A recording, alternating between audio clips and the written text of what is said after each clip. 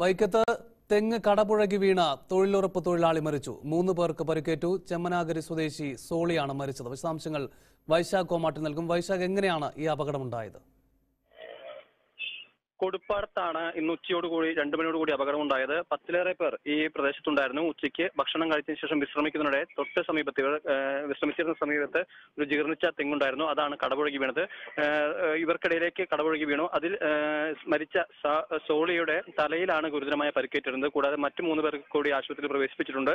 ഇതിൽ സുശീല എന്ന് പറയുന്ന ഒരു സ്ത്രീയുണ്ട്. അവരുടെ കാലിന് ഗുരുതരമായി പരിക്കേറ്റിട്ടുണ്ട്. ഏതായാലും വൈകിട്ടോടു കൂടിയാണ് സോളിയുടെ മരണം സംഭവിച്ചത്. ഈ പ്രദേശത്ത് പത്തിലേറെ പേരുണ്ടായിരുന്നെങ്കിൽ പോലും ഇപ്പോൾ നിലവിൽ രണ്ടുപേർക്കാണ് ഇപ്പോൾ ഒരാൾ മരിച്ചു. കൂടാതെ രണ്ടുപേർക്ക് കൂടി പരിക്കുണ്ടെന്നാണ് ഇപ്പോൾ ലഭിക്കുന്ന വിവരം.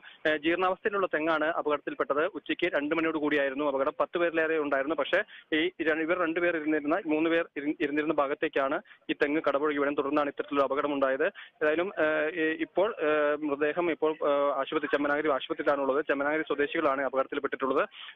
മൃതദേഹം പിന്നീട് പോസ്റ്റ്മോർട്ടത്തിന് ശേഷം ബന്ധുക്കൾക്ക് വിട്ടു നൽകാനാണ് ഇപ്പോഴുള്ള തീരുമാനം. ശരി വൈശാഖ്